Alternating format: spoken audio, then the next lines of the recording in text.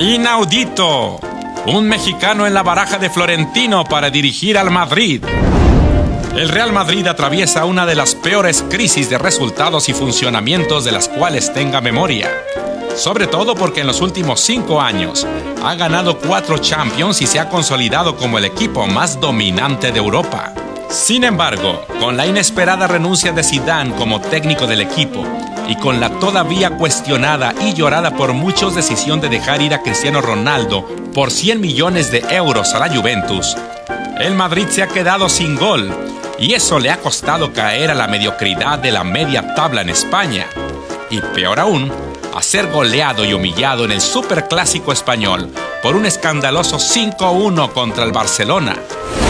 Por eso Florentino no dudó en cortar por lo más delgado y Lopetegui ya no es más entrenador del Real Madrid.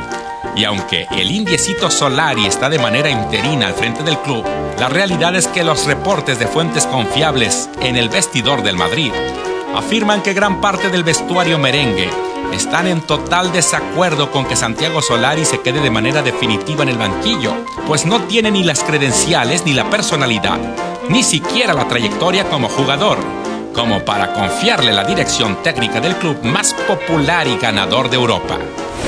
El problema es que quien era el principal candidato de Florentino Pérez para asumir ese cargo, Antonio Conte, también ha encontrado problemas de aceptación entre los jugadores de mayor peso del equipo.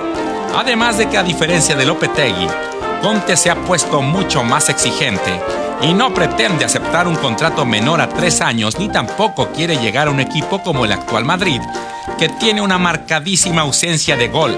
Así que también ha exigido que se le refuerce con dos o tres jugadores de primer nivel a la plantilla. Así que las opciones de encontrar un entrenador de altos vuelos en Valdebebas parece complicarse.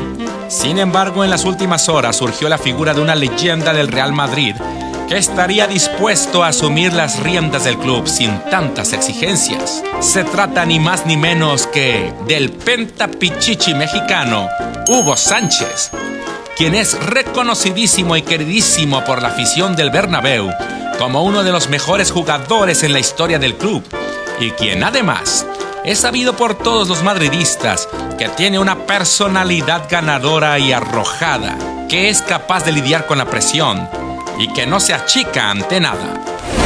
Para muestra de ello, su propia carrera en Europa como futbolista, pues a pesar de no ser muy querido en sus inicios, demostró que con mentalidad, trabajo y esfuerzo no existen imposibles en el fútbol. Además, como entrenador, es sabido que hizo historia con los Pumas, pues incluso en el Bernabéu fue capaz de arrebatarle un título al poderoso Real Madrid Además, su relación con los altos mandos madridistas siempre ha sido muy buena. Y ya le mandó una indirecta, muy directa a Florentino. Pues dijo, los jugadores quieren a alguien a quien respetar mucho y admirar. Son pocos en el mundo los que pueden estar al frente de este vestuario. Se lo digo Florentino Pérez, ya estoy listo. Si me llama, ya sabe dónde localizarme.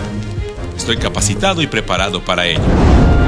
Así que ya lo saben amigos, quizá nos llevemos una sorpresa de ver a Hugo Sánchez como entrenador del Real Madrid.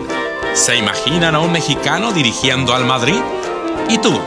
¿Crees que Hugo Sánchez esté capacitado para sentarse en la banca más caliente del mundo en estos momentos?